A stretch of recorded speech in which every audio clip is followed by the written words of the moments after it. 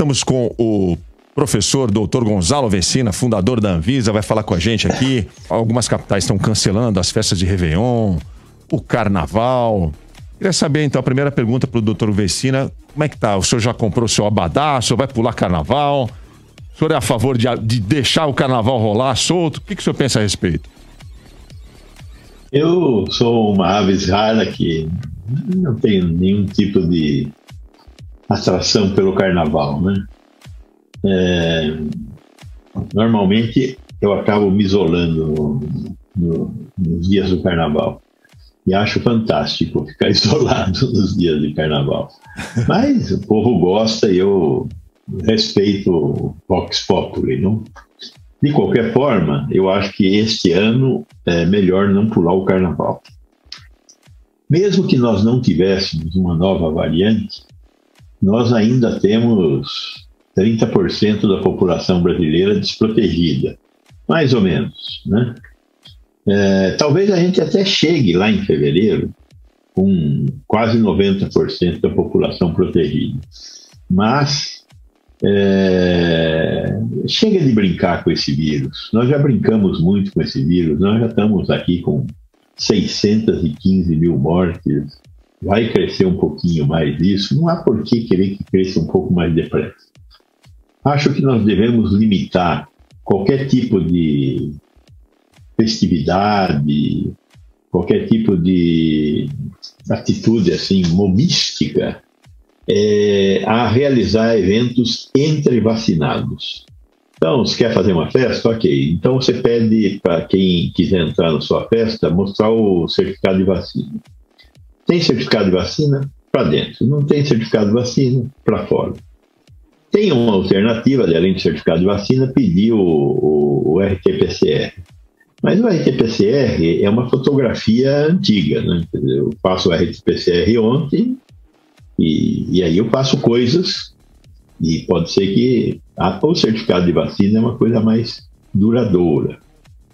Acho que é importante a gente respeitar esse momento que é um momento positivo e eu, eu, eu, eu sou a favor de, de que existam essas festas fechadas é, para ter um pouco uma panela de pressão aí, uma, uma válvula na panela de pressão, por causa da ansiedade, depressão que nós estamos vivendo realmente na sociedade brasileira, muita ansiedade, muita depressão. E aí vamos, vamos deixar uma válvula de escape, porém com o cuidado de não aumentar o número de, de mortes, é, não, não piorar a situação é, sanitária que nós já temos muito ruim. A, o aparecimento da, da nova variante, ela põe um peso a mais aí nesse, nessa necessidade de temor reverencial. Então, não, não é pânico, é temor reverencial. É, é uma variante é, diferente, é uma variante muito diferente. Assustou os pesquisadores que entendem desse assunto, não é o meu caso, mas assustou esses caras. Por quê? Porque ela tem muitas mutações, é, o, é, é uma das variantes que apareceram com mais mutações. E muitas das mutações que ela tem, diz que tem algo em torno de 50 mutações, é, quando a média dá 20, 20 e poucas mutações, e agora 30 mutações dessas 50 acontecem numa área que a gente chama de proteína S. Proteína S é um pedaço do vírus que é a chave que ele utiliza para invadir as nossas células. Todas as grandes vacinas de RNA mensageiro, Moderna e, e Pfizer, de vetor viral, Janssen, e AstraZeneca, a russa, é, todas essas vacinas aqui, tem ainda uma vacina que não chegou ao Brasil, acho que não vai chegar, que é a vacina de vetor proteico da Novavax nos Estados Unidos, todas essas vacinas, elas se concentraram em reproduzir uma parte da espícula, justamente a tal da proteína S. Como que o vírus, essa mutação fez, foi mudar justamente este pedaço, tem grande chance de que, ao mudar, ao, a sofrer uma mutação é, nesse pedaço, é, é, o vírus tenha conseguido dar um drible em algumas ou em todas essas vacinas. Está de fora aí a Coronavac, porque ela pega o vírus inteiro e inativa o vírus. E é, é, é, o vírus inteiro inativado que é introduzido no nosso corpo junto com um agente que desperta uma raiva no nosso sistema imunológico, que é alumínio. Um pouquinho, muito pouquinho de alumínio é, é injetado junto com, com o pedaço, com o vírus é, inativado. E aí o sistema imunológico vai lá para tentar conter o alumínio e encontra o vírus e, e, e, e, desenvolve anticorpos contra o vírus. Só que aí é o vírus inteiro, então nós não sabemos é, o que, que, vai acontecer. Todas as empresas têm que realizar testes para saber como é que ficam seus anticorpos frente a esse novo, a essa nova mutação. Nós vamos saber disso em três, quatro semanas. E aí nós vamos poder saber se driblou ou não driblou. Se driblou, péssima notícia. Isso equivale a zerar o jogo.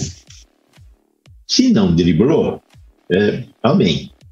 E se driblou, tem que fazer vacina nova. Né? A péssima notícia tem que fazer vacina nova, teste novo. É um negócio, não é igual a sair do zero, mas é uma, uma zerada no jogo. A outra questão é saber se essa nova variante, ela, ela, nós já sabemos que ela se espalha mais, mas nós não sabemos se ela é mais letal. Tudo indica, e a gente tem que tomar muito cuidado com esse tudo indica, que é, ela é mais branda.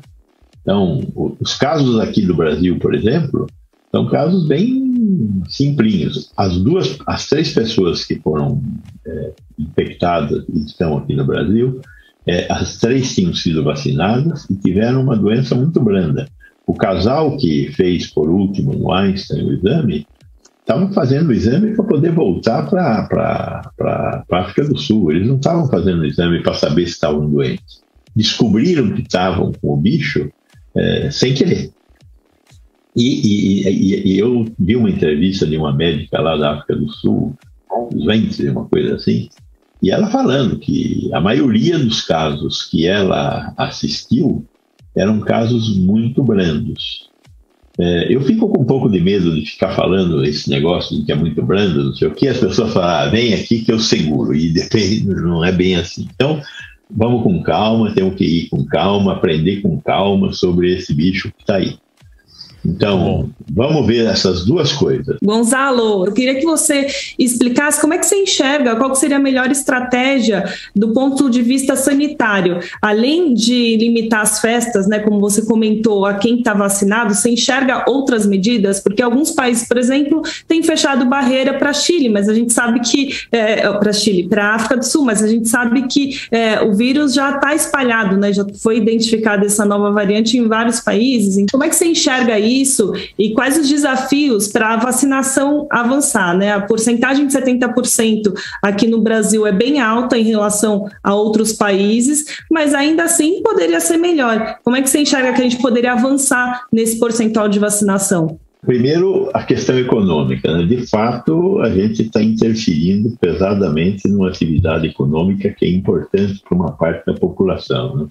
Hoje pela manhã eu estava dando uma entrevista para a Rádio Caruaru é, no Recife, no Nordeste, estas festas movimentam a, a, parte importante da economia. Quando eu falo de festa carnavalesca aqui em São Paulo, sei que tem uma importância também para a população, mas no Nordeste, no Nordeste, o, o, o governador do estado do, do, de Pernambuco está promovendo um socorro emergencial para as pessoas que têm atividades econômicas envolvidas com o carnaval. Por quê? Porque eles não vão ter ganha-pão. Né?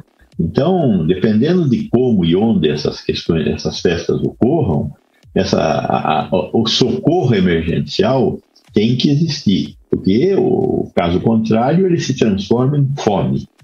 E nós já temos fome no Brasil hoje, por conta da, da, desativação da economia e da incompetência do Estado brasileiro em proteger a população. Né?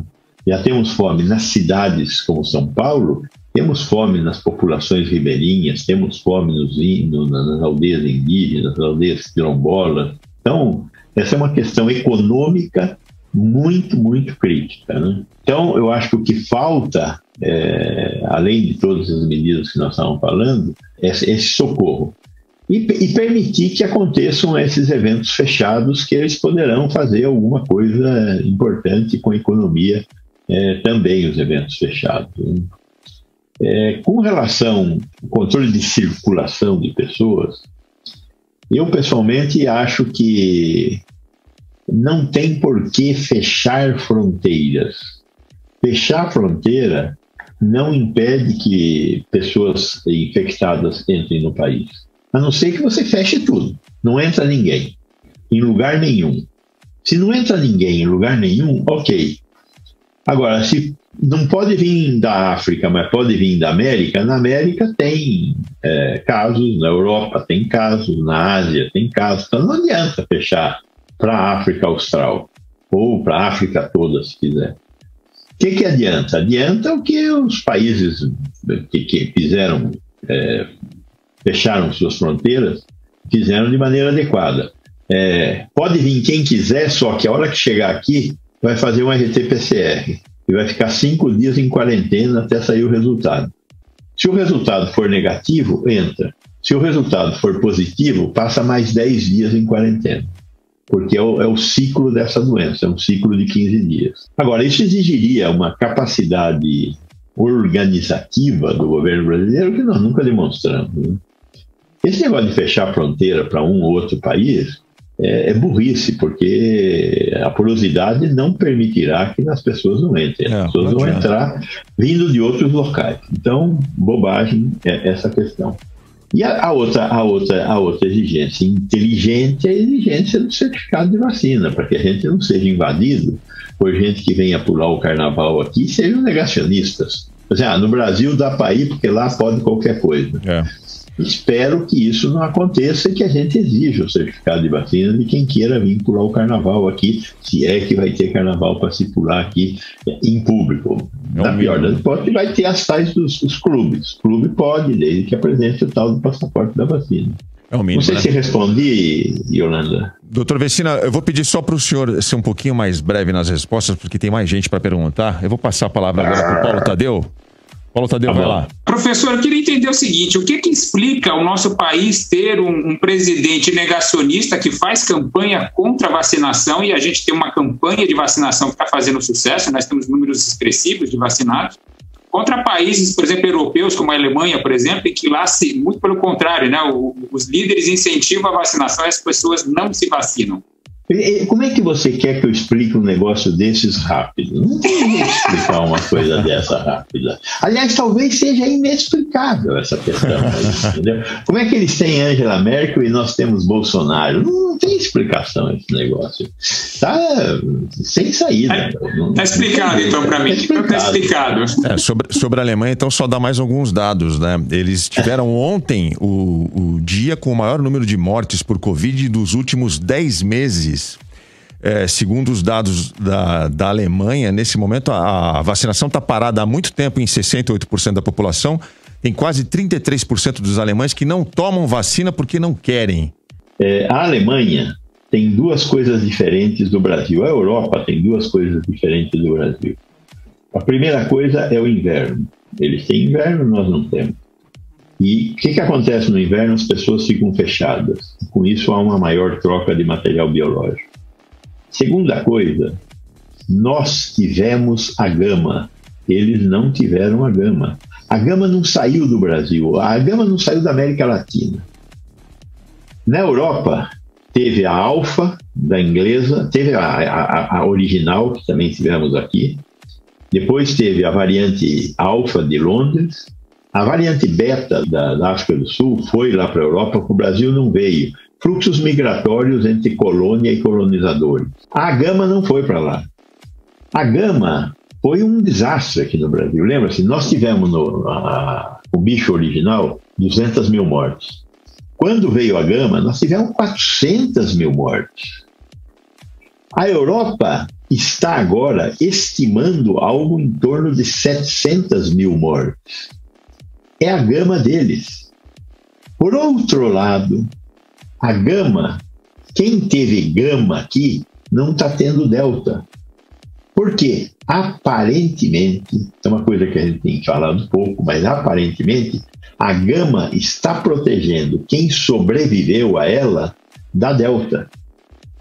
É um perfil sorológico semelhante, é a única explicação de por que nós estamos tendo tão poucos casos de delta, se a delta se espalha e tem sua letalidade, como está sendo demonstrado na Europa e nos Estados Unidos também. Estados Unidos também não teve gama. Então, o que está acontecendo lá é deles e nós não vamos viver. A Delta já está em todo o território brasileiro, porém ela está fazendo pouco movimento. Hoje tive uma entrevista lá com a rádio, a TV Tapajós do Pará, está tendo lá uns surtos de Delta. Então, quando a Delta encontra alguém que não teve gama, ela vai lá e crau. Mas precisa ter essa condição, nem vacinado, nem ter tido gama. Por isso nós estamos com um número pequeno de casos agora. Essa é uma, uma, parte da explicação. Tem mais uma explicação, desculpe, se quiser eu falo, se não quiser não falo, que é por que, que os europeus são contra a vacina. Por quê? pois é, né? Veja, é, é porque eles são civilizados. No Brasil, a gente começou a vacinar ostensivamente em 1973. Os europeus vacinam desde sempre. Só que eles não vacinam com campanha, eles vacinam numa boa. E o que, que eles têm conseguido ao longo das décadas que eles têm vacinado? Eles conseguem uma cobertura razoável, em torno de 80%, 85% da população, e tem 10, 15% que decide não vacinar. Só que 10, 15% sem vacinar numa população de 85% de vacinados esses bichos, de uma forma em geral, é, sarampo, varicela, histeria, tétano, tosse comprida, não sei o que, para de circular. E de repente chegou uma doença lá que precisa de vacinação rápida e maciça. Aqueles que sempre foram negacionistas estão sendo negacionistas agora. É um jeito europeu de ser, dos franceses, dos espanhóis, etc. E, e, e, é um pouco essa, é, é um, é um negacionismo diferente dos americanos. Os americanos negacionistas acreditam que se eles não tomarem vacina, eles compram alguma bobagem que algum médico está vendendo lá que salva a vida deles. Então eles estão trocando, estão comerciando no lugar de vacina. Os europeus não. É uma questão de fé mesmo. Eu falei com dois amigos jornalistas que vivem em Berlim, os dois me disseram a mesma coisa.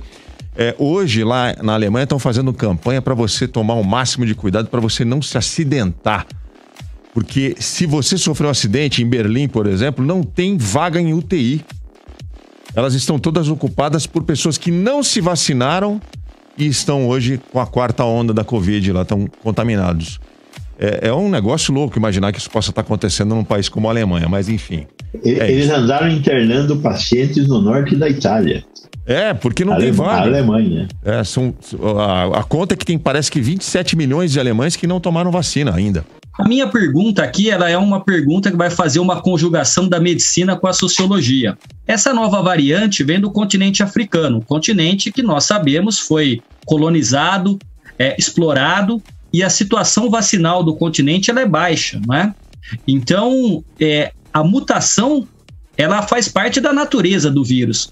A única forma da gente pensar na pandemia, que é um problema global, é tentar equacionar globalmente. Então, a minha pergunta para o senhor é: vacinando maciçamente no continente africano e outras partes do mundo, a gente diminui a circulação do vírus, como o senhor fez agora na resposta anterior, e aí a gente consegue também pelo menos ter um pouco mais de tranquilidade de que as mutações começam a diminuir até a gente domar esse vírus e entrar no calendário de vacinação no mundo todo? Eu não tenho dúvida de que esse, essa é a saída, Rodrigo. Temos que vacinar o mundo se quisermos continuar comerciando. Porque eu, a coisa que eu estou entendendo é que o, os países ricos querem o mundo para comerciar, não para viver. Então, se querem um mundo para comerciar, que arrumem vacina para o povo, que senão não vai ter jeito de fazer comércio sem morte. Vai lá, Nagaki, manda a sua. Eu queria uma dica, um conselho do senhor para quem, por exemplo, tem algum amigo que é negacionista, tem alguém que ainda resistem a tomar vacinas, até porque são impactados por fake news. Então, dado da sua experiência, como é que a gente consegue dialogar com essas pessoas de uma forma propositiva para que elas se conscientizem da importância de se vacinarem? Puxa vida, eu não. É muito difícil uma resposta boa para essa pergunta, porque não, é, esses negacionistas que estão sobrando aqui no Brasil hoje, eu conheço uns dois ou três, não mais do que isso, é, eles são, de certa forma, irrecuperáveis. Então, qual é a saída para eles? É a gente conseguir vacinar todo mundo que não eles e eles estarão protegidos e nós nos protegeremos dele por causa da proteção coletiva que nós vamos ter. Agora, eles são. É, não tem saída. Eu acho que o máximo que a gente pode fazer é, durante algum tempo, dizer para eles: ó, você fica aí, eu fico aqui, porque estar tá com você tem um certo risco, e tem mesmo um certo risco. Então, a hora que esse negócio passar, a gente volta a conversar, se você quiser posso só falar aqui para Alexandre, longe de querer dar uma sugestão, porque eu não sou especialista, mas você pode falar: olha, eu vou abrir um Blue Label na sexta-feira à noite lá em casa, mas só vai tomar comigo quem tiver vacinado. Talvez. Talvez você convença, porque a gente pensa que muitos são por convicção, mas na verdade, não é na hora de um Blue Label a convicção vai embora. Tá então tá combinado. Sexta-feira tem Blue Label na casa do Rodrigo. Opa, tá vacinado? Pode ser uma Anísio Teixeira também, viu? Ah, espetacular, doutor Gonzalo, espetacular. Os caras cara marcando encontro no ar aqui, vê se pode um negócio desse. Queria agradecer o doutor professor Gonzalo Avecina que falou com a gente aqui. A gente chegou ao final dessa edição do programa. Obrigado, viu, professor doutor Gonzalo Obrigado a vocês, sempre às ordens. Deixa Boa tarde para todos. Deixa o seu perfil no Twitter, quem quiser segui-lo. Eu tenho lá num, num, num tal de Instagram um negócio igual esse. tá certo. Deve ser arroba Gonzalo Messina, tá certo. Algo próximo disso, viu? Obrigado, viu, doutor Messina? Obrigado. Um abraço. Tchau. A grande verdade.